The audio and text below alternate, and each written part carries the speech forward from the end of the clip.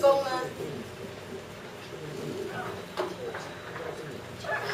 我们的福音施工呢，主要就是在原住民的部落啊，各山区的原住民教会，还有个人联结举办医治释放特会，然后呢，福音布道、传递恩高、开启恩赐，这个是开启恩赐。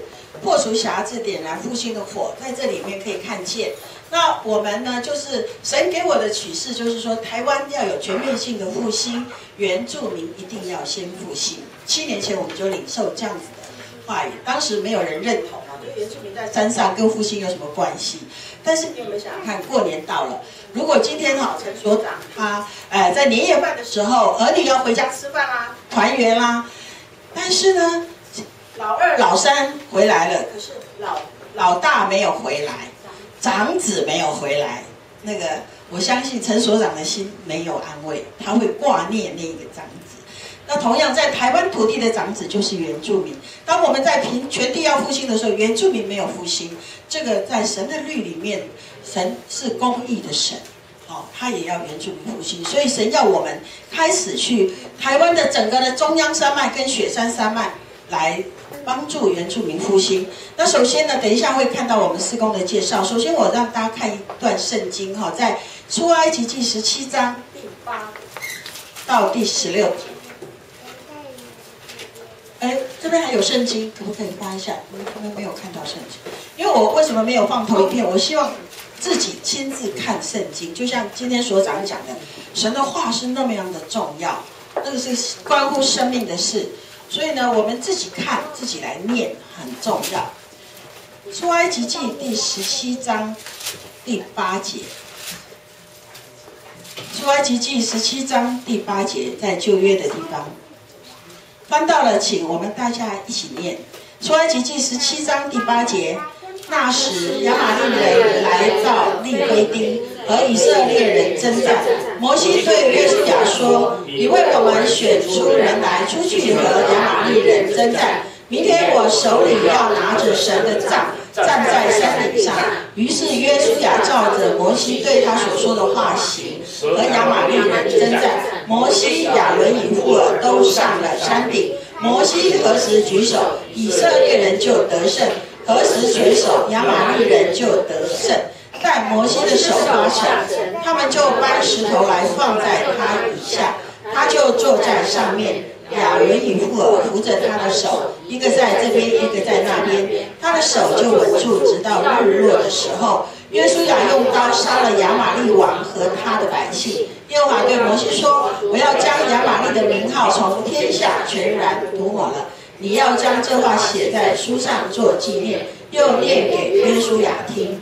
当天我们知道，我们读到这里，当天我们知道约书亚打了一个极大的胜战，哈，他打得胜了。但是你知道吗？任何的胜战，就是明处的战果是有事先在隐秘处就决定的。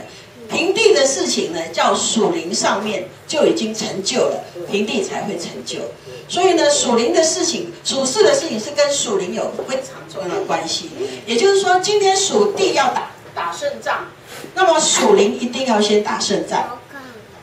那么我们知道，当天的约书亚他打胜仗，是因为有一个看不见的带导者摩西，他在山上举手祷告，山下打胜仗。因此，神告诉我在平地要打胜仗，山上要有一群人在那里设立祭坛、敬拜、祷告，为台湾守望，台湾才有可能复兴，山下才有可能打胜仗。因此呢，在这些年来，我们在山上的奔波，跟各地的呃扶持，然后各一些软弱的教会的兼顾，让他们一个一个复兴起来以后，他们现在在山头上已经有很多的敬拜的中心、敬拜的祭坛。而且都是三点、四点，就一群的原住民在那里敬拜。我们知道原住民被神拣选是来敬拜神的，不是来唱卡拉 OK 的，也不是来当歌星的。他们美好的歌喉是要来荣耀神、敬拜神的。但是他们忘了他们的身份，也忘了他们在神的命令里面，在台湾的复兴里面，他有一个很重要的角色，是要在山上举手敬拜我们的神，山下才能打胜仗。当神启示我这样的时候，我跟一个张牧师，我们两个就觉得说，哇，神给我们这样的托付，但是呢，我们一个原住民都不认识，于是我们就。花很多的时间祷告以后，很奇妙，神就开路，在山上有布农族的开始邀请我们去，有泰雅族的有邀请我们去，哦，慢慢的在呃，就从苗栗啊，从呃南投啊开始，就一直一路一路在中央山脉、雪山山脉的各个角落、各个部落，他们争相的邀请我们去带领聚会，然后为那些酗酒的没有办法起来的祷告，他们就断开那个酒精的捆绑。因为他们身上有酒鬼，从开始祭祖灵以后，匣子就进入他们里面。因为那个酒米酒祭的祭的祖灵，喝进去以后，酒鬼进去了，他们就开始沉迷。但是很奇妙，当神的大能临到，当呃我们为他们服侍祷告以后，很多人就脱离了。第二天起来就完全不想喝酒，生活开始正常，慢慢去教会，回到敬拜点。好，等一下我会让大家知道我们在山上已经设立了多少的敬拜的点。也就是今天你在山上设立敬拜祷告的祭坛和带球带祷者的时候，平地的福音就能够打胜仗。你会看见台湾这两三年来的福音还有信主的人口一直在增加。好，那当然是很多人的努力，但是更重要是我们刚刚有看见，当约书亚打胜仗的时候，摩西筑了一个祭坛，叫耶和华尼西，他那个祭坛是。耶和华尼西，也就是耶和华是我的惊奇。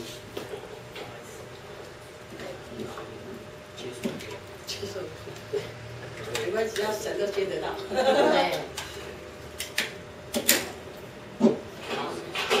好，现在结束好。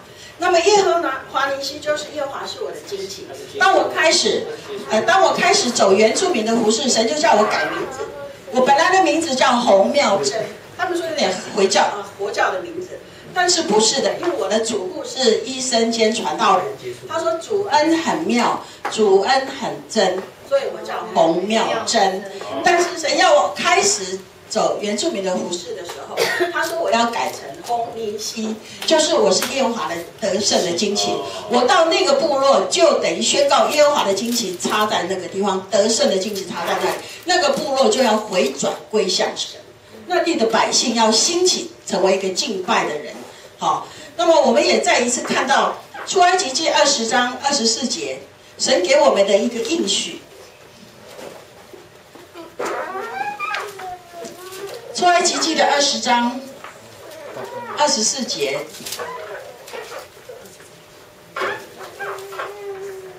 这里好说，呃，出埃及记二十三二十四节。神说：“你要为我煮土坛，在上面以牛羊献为燔祭和平安祭。凡记下我名的地方，我必到那里赐福给你。”当山上的部落开始建立祷告敬拜祭坛的时候，当然山上部落都有很多的教会，可是很多教会是荒凉的，他们也没有祷告祭坛，更没有敬拜祭坛。当我们去到那里，带领他们开始敬拜，很多妇女开始回到教会的时候。你知道吗？神的应许，凡记下我名的地方，我必到那里赐福给你。那个部落就有很大的翻转，人心开始转向神，他们的儿女开始回到教会，他们的土地开始得到医治。所以你就会看见那个复兴，复兴不是只是属灵的复兴，财务的复兴，健康的复兴，儿女家庭的复兴，那个是在神的应许里面。而这个祭坛不是献牛羊了，现在是献什么？感恩的祭，赞美的祭给神。所以神呢，就纪念那个敬拜的地方。另外呢，历代志下五章十三、十四节。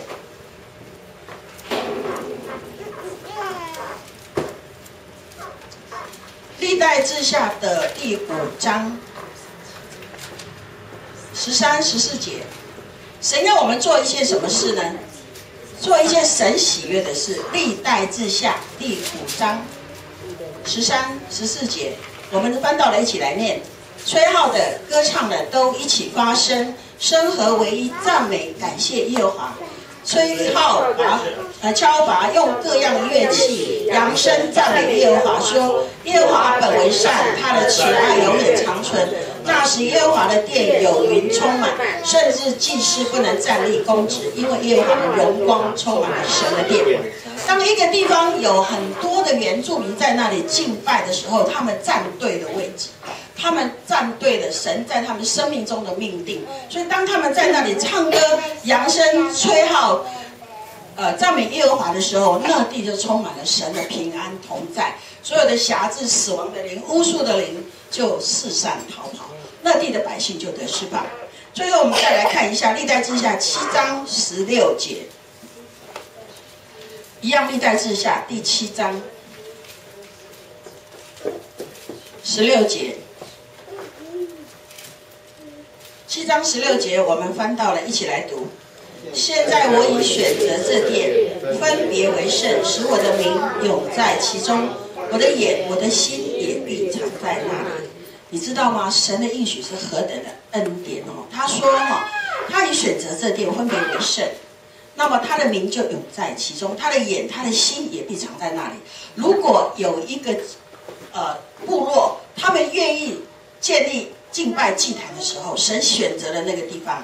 因为神要我们去的地方，都是那些有一些人长期在那里守望祷告的一些老阿妈。他们在早期台湾有很大的树林复兴的时候，他们经历那一波的复兴，他们很想念那个复兴带来的部落的喜乐、平安、祥和。但是呢，这些年来就已经荒凉了。但是呢，那个地方还是所神所拣选的。所以当他们又开始恢复那个敬拜早祷的时候，他说：“神在圣经上说，我的眼、我的心必藏在那里。神的应许就在那里。他们祷告蒙垂听，他们祷告的时候，很多都是在那里为台湾流泪守望祷告，为台湾的平地的平地的人，他们转向神，他们的心转向神。还有一个教会是每天晚上哦，他们工作完了还要回家，呃，煮饭啊，照顾孩子，以后孩子上床睡了，十点钟有一群妇女还。”到那个敬拜的店，等下我给你们看，十点到十二点，在那里为台湾的青少年守望。为什么？因为那个时间是青少年开始出去犯罪的时候，他们就十点到十二点在那里为台湾的青少年守望、祷告，好让台湾的青少年不要沉沦啊、吸毒等等哈。那所以呢，神的眼、神的心在那里，神也垂听他们的祷告。好，那我相信在啊。以下呢，我再看一个圣经节，然后我们来看我们的事工哈，在以斯拉记三章第三节，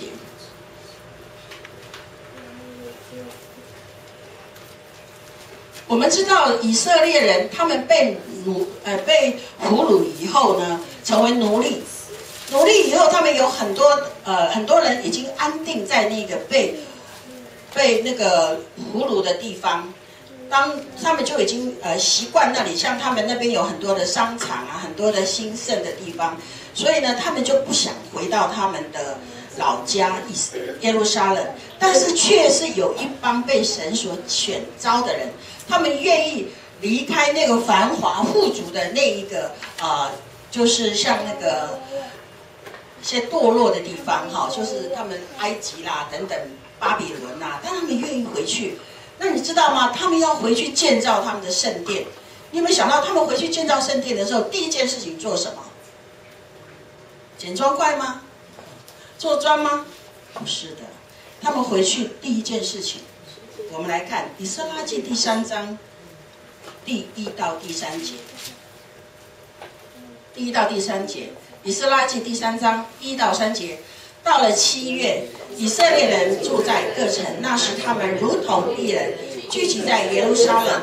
约撒达的儿子耶稣亚和他的弟兄众祭司，并撒拉铁的儿子所罗巴伯与他的弟兄都起来建筑以色列神的坛，要照神的摩西律法书上所写。在坛上献翻祭，好，再下来，他们在原有的根基上筑坛，因惧怕邻国的民，又在其上向耶和华早晚献翻祭。他们要建殿，但是却是最重要的，先筑坛，筑一个坛，然后开始献祭，早晚献翻祭。同样的，当我们台湾要让平地的教会复兴，要建造更多的教会的时候，不要忘记，要先筑坛。主什么坛呢？主敬拜的坛，赞美的坛。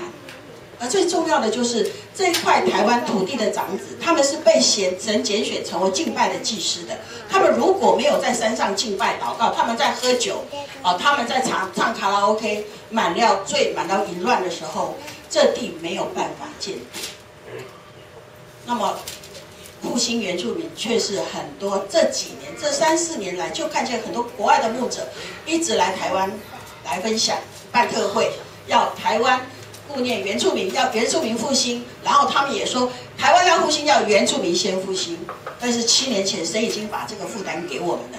因为复兴不是喊口号，复兴也不是你办两三个特会来几个大牧者就 OK 啦。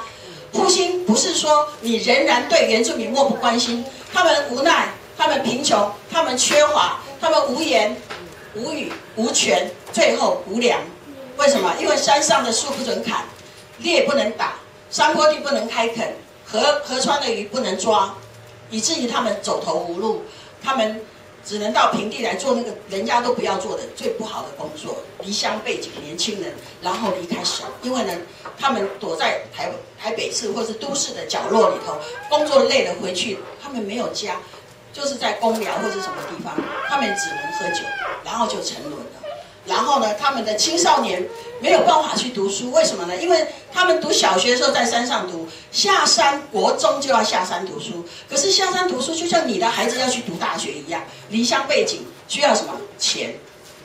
交通费、住宿费、生活费、吃饭钱，都是钱。但是呢，很多人付不起，怎么办？那些国中。高中的孩子就没办法下山工作，他们只能在山上打打零工，没零工打下来山下找工作，找到一些不好的工作，然后呢被一些黑道，特别是庙他们会利用，他们知道他们原住民很单纯，他们没有钱，然后他就给他们一点点的钱，吸引他们就去做小偷，去贩毒，甚至呢很多的庙就找原住民去跳八家将，给他们无限烟酒还有槟榔，以至于他们的生命就这样子流失了。你想想看，一千个青少年原住民如果成为黑道、成为贩毒的，他的毒品卖给谁？卖给平地的年轻人，这是一件很可怕的事。可是呢，一千个原住民的青少年如果能够正常去学校读书，他出来，他仍然还有就是他们还可以回教会的时候，你会看见他们成为一群约书亚的大军，成为承接复兴的大军，年轻人起来敬拜赞美。现在很多。好的原住民青少年是很棒的敬拜团，不好的原住民的青少年就是卖毒坐牢，真的是很可怕。好，那我们的施工呢？因为神要我们就是帮助原住民复兴，扶持他们脱离捆绑，断开酒精的捆绑，还有关心那些贫困单亲的，因为很多人的爸爸就死了，喝酒死了，工作意外死了，当远洋渔船死死了，那些孩子怎么讲？三餐不聚，很可怜。所以呢，我们也兴起神要我们关怀，不是说只要说啊，你平平安安回去吧，你信耶稣就好了。但是他们没得吃，没得穿，我们怎么忍心呢？所以好几次我到山里头去住长老家的时候，因为我们去的都长老接待或牧者接待，晚上有那个阿妈七点多了还来说，不好意思，可不可以借点米？我晚上孩子们没饭吃。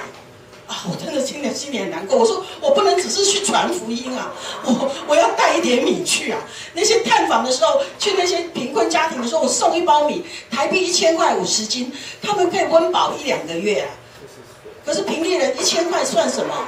你吃吃喝喝可能买一件名牌的衣服就七七八千呐，衬衫呐，那七八千他们可以吃一年的米，起码吃饱哎。所以我开始也做一些关怀的事情。好，我们现在来看一下我们施工的介绍。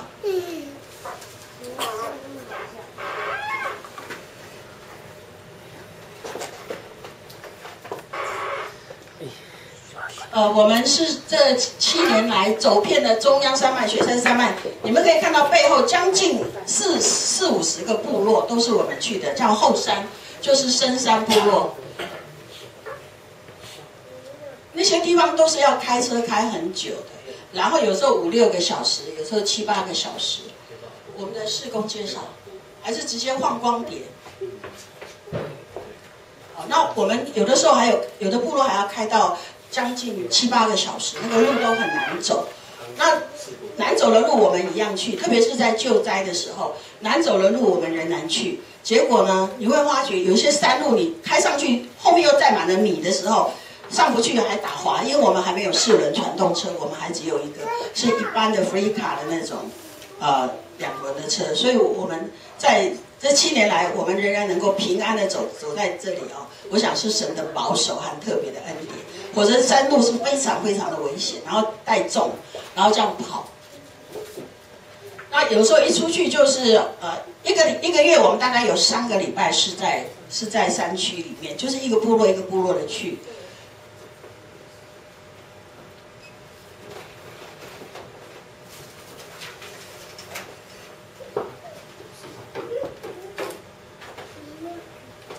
我们助养了一百多个儿童，我们后面还有一些带助养名册，还有好几十个小朋友。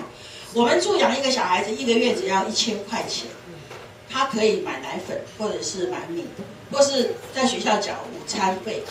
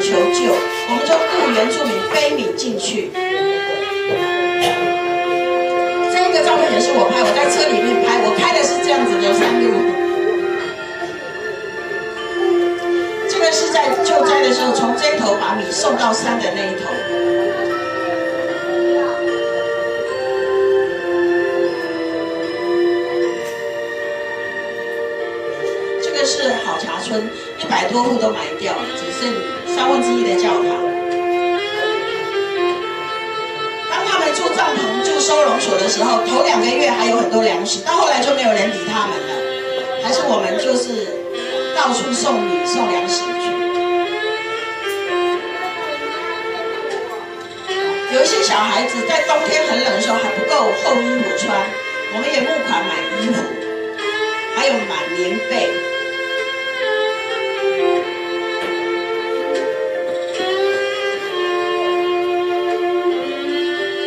这是在宜兰的大同乡靠近武林农场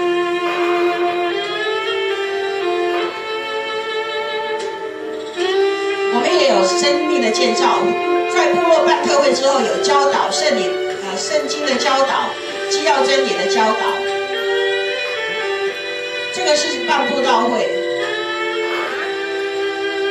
在呃，海岸线山脉的风宾，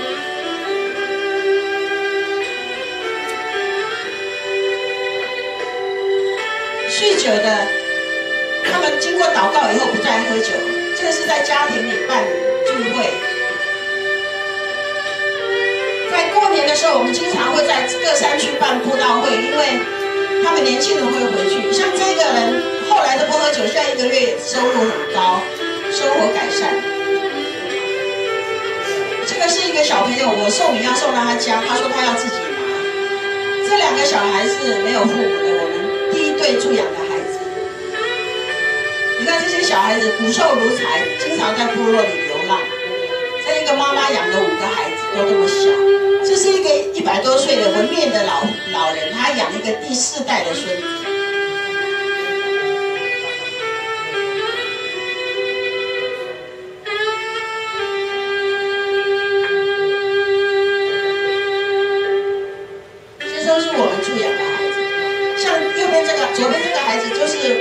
死了，爸爸经常喝酒不在家，回去都没有饭吃的。这个小孩子给他一包米，高兴的不得了，自己抱。我们通常是晚上有聚会，白天去探访。这个家庭也是有三个小孩单亲的。这个小朋友是被巫术的灵匣治哈，不能走路，祷告以后就好了。我们也常常办义剪，招去他们剪头发，因为他们山上常常很多孩子头发乱七八糟没有剪，啊，剪完头发晚上就一起就呃煮煮煮晚餐让他们吃，然后一起参加聚会，所以有很多没有去教会的就开始回到教会，啊，那所以这个义剪是一个福音的一个工作，就是请他们来剪头发之后晚餐，然后剪呃就是办音乐，我们叫音乐一治特会。小朋友从来没拿过礼物的，开心的不得了。我们也建造生命，因为在每一个部落夏天，我们会办儿童夏令营，让那些没有进教会的人，他们可以参加夏令营，还有青少年营会。这个是在苗栗泰安乡的梅园部落，然后夏天也给他们有那个才艺，吹口琴啊，录笛子啊。我们借教会的场地。那附近的部落的小朋友就来参加。那当然夏令营啊，还有一些活动的机会，我们都需要募款。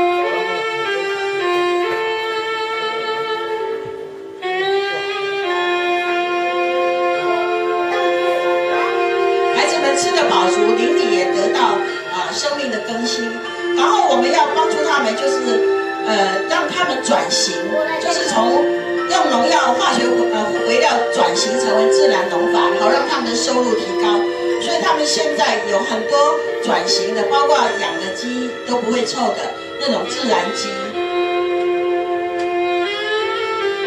然后现在呢，有很多种高丽菜，每一年都赔本的哈。现在转种葡萄，葡萄也是自然农法的葡萄，也快要认证成为有机的，已经好几年了。他们自己做酵素，我们也辅导，有人义工去教导他们做酵素。用酵素，这个就是用做木瓜酵素，用红桃花酵，还有不同的酵素，因为祷告神取示的啊。然后呢，用这个酵素来施肥，甚至用酵素除虫。现在我们呢也辅导他们，不但啊用自然农法种茶叶，还指导他们做茶。他们做的现在高山茶已经是非常非常的棒，甚至是可以参加比赛级的，是自然农法的，而且是牧师，我们前理事长林启慧牧师，他是很有名的制茶师，去指导这些原住民制茶，所以他们的生活就开始改善。他们改善以后，就会帮助其他的还没有改善的部落。那我们在呃每一年也都会送鞋子，因为许多的孩子啊。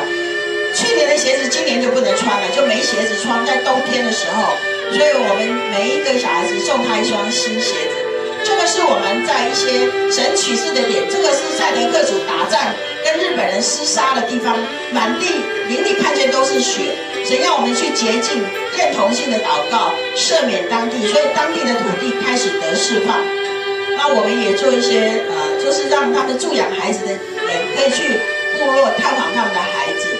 顺便生态之旅，体验原住民的生活，住他们的民宿，这是他们的烤肉啊！小朋友都很开心，小朋友去送鞋子，还有去探访啊那些贫困家庭。你会看到那个水，黄色的那个水是山上污染的水，农药流下来的水，很可怕。如果他们没有转型的话，他们给我们。山上流下来水，我们喝的都是有毒的水。那我们的这个茶园、高丽菜园现在都是用自然农法，用酵素施肥，那个葡萄非常的好吃。还有甜椒，这个甜椒已经打入收购了哈。这个是我们最近在金轮的那个布道所，好，那这里介绍的是有一，我刚刚说第一对小孩子是我们助养的。她这个小女孩在坐月子的时候还没有满月，爸爸就去世了，然后哥哥才三岁，然后就靠阿妈。那阿妈在山上种桂竹，然后阿公中风，啊，然后还有那个阿妈的公婆八十几岁，那个时候我开始照顾，觉得说需要助养，因为非常的穷，那个阿妈一年的桂竹笋收入才几没有多少钱。那一年一年，我们都会去探访这些孩子，孩子在成长，我们就会看见助养他们的人会看见这些孩子开始长大。就是他那个阿妈。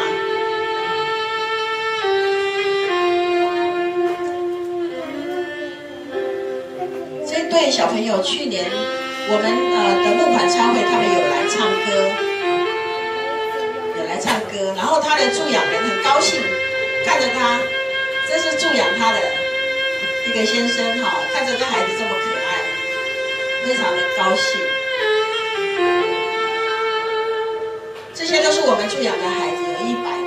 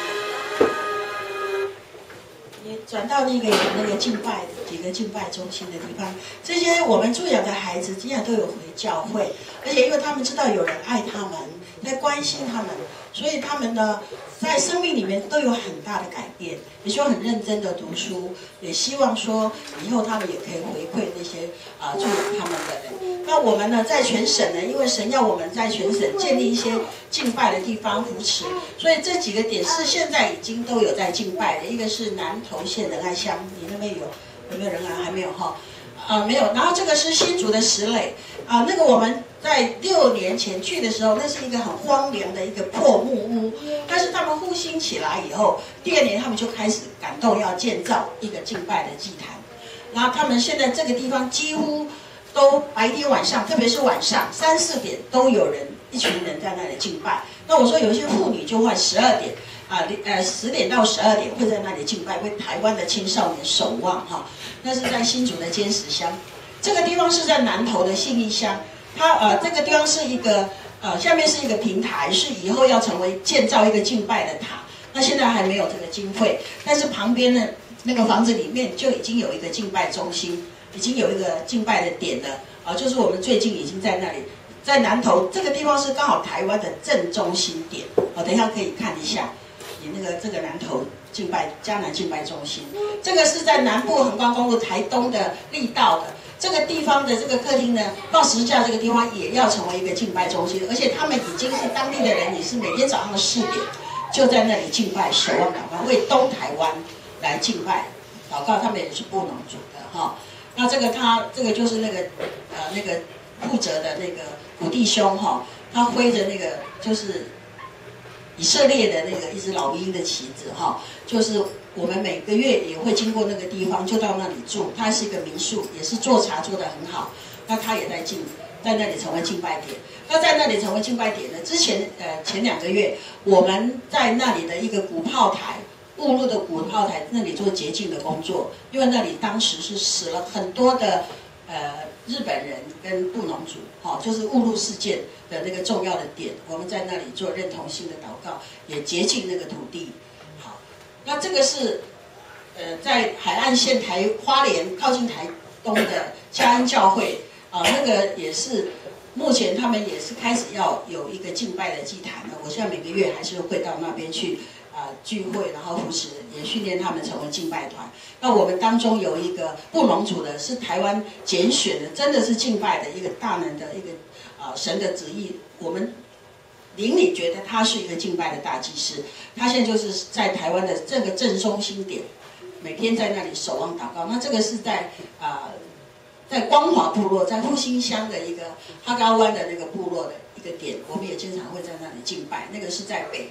为北部的呃雪山山脉的的部落来守望的一个地方，还有刚才还有一个虎山的地方，这是虎山乌来的虎山，嗯，还有回到这里，这里是那个赛德克族和日本人和泰雅族跟布能族彼此真的打杀的一个地方，是在合欢山的最高峰，所以我们也是在神的启示下到那个点去敬拜祷告。好，那你看介绍一下那个江南敬拜中心那个地方，现在南投县信乡江南敬拜中，我那边有资料哈，你们也可以到那里去亲近神祷告或是灵修啊。那个点还没有完全好，但是已经可以住了哈。哦，那还有一点地方还还需要一些经费来整理，但是已经是很欢迎你们可以去。我们过年年初四会到那里去聚会敬拜。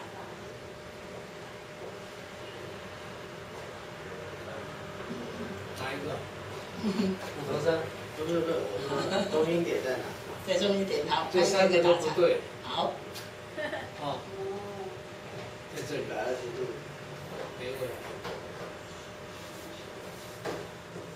好。这个是南头信义乡东湖村。对。神拣选那个地方哦，很特别。他说他的启示、他的医治、他的丰盛、他的话语会在那里。所以你们到那里。我最近我经经历两次，有一个呃长老的女儿失踪了几年了哈，那他需要我们为他祷告，在那里祷告求神带领他回来。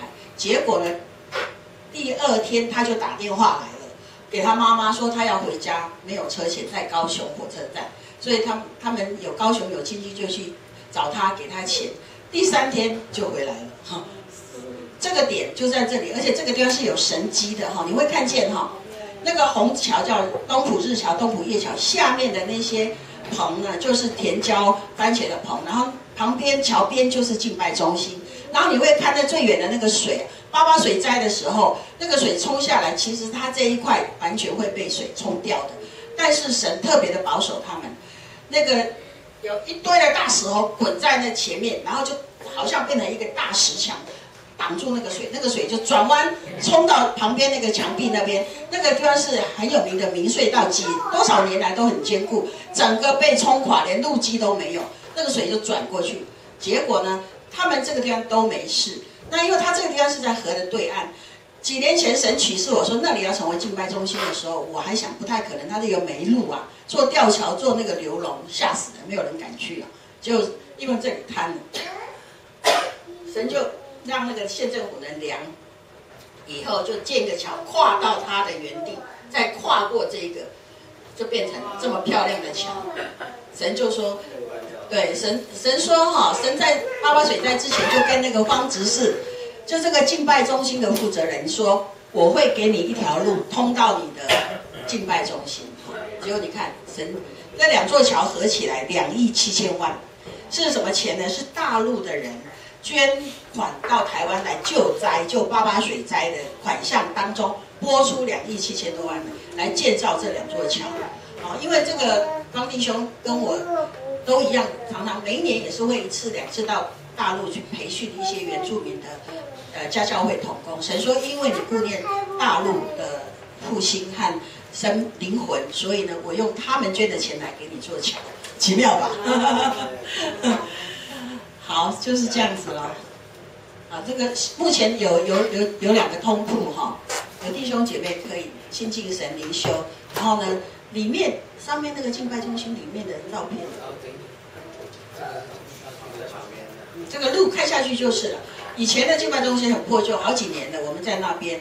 可是神在今年呃去年年底就感动说，一定要把它整建起来。好，然后就请长老来做，现在是做好的。祭拜中心，哈，就可以在那里。你会发觉在那里，窗户对的出去就是玉山主峰，哦，就是玉山主峰，他们是守望整个玉山山脉的，还有台湾的一个复兴的，所以他们夫妻两个都是每天早上三四点就起来，在在那个敬拜中心敬拜，然后为台湾的复兴祷告，为部落原住民的复兴流泪祷告。好，那神啊，就是也兴起，就是。